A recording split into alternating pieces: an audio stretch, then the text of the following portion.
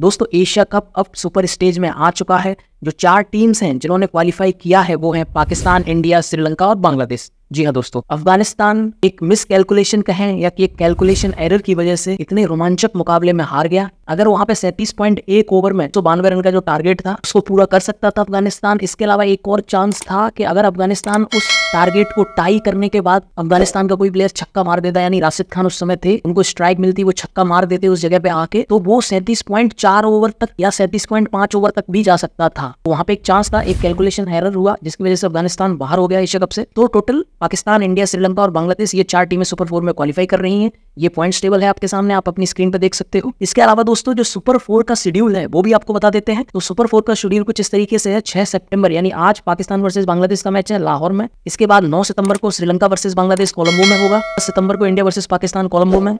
बारह सितंबर को Sri Lanka versus India, Colombo में। और चौदह सितंबर को श्रीलंका वर्सेज पाकिस्तान, कोलंबो में।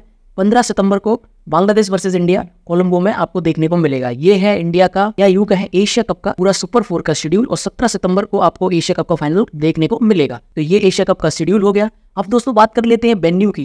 तो दोस्तों वेन्यू में बहुत ही ज़्यादा केओस रहा डिसाइड होने में। पहले से शेड्यूल्ड जो वेन्यू था वो कोलंबो था। लेकिन कोलंबो में क्योंकि पूरे हफ़्ते बारिश ही है, बहुत कम चांसेस हैं ये सारे मैचेस हो पाएँगे। तो इसकी वजह से हम्बन टोटा को एक नया वेन्यू की तरीके से देखा जा रहा था। लेकिन कुछ बीसीसीआई की या इंडियन टीम की रिजर्वेशन थी कि उनको वहाँ पे नहीं खेलना था।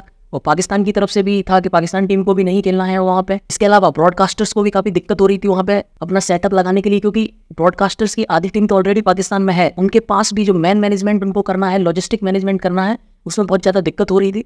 तो कहीं ना कहीं सबकी मिली जुली बातों की वजह से जो पहले से ही शेड्यूल था कोलंबो उसी जगह पर आपको एशिया कप के बाकी सारे मैचेस देखने को मिलेंगे। तो दोस्तों, ये पूरी आज की अपडेट्स हैं। दोस्तों, अगर आपको वीडियो पसंद आए तो वीडियो को लाइक करो शेयर करो, और सब्सक्राइब ज़रूर करो। Thank you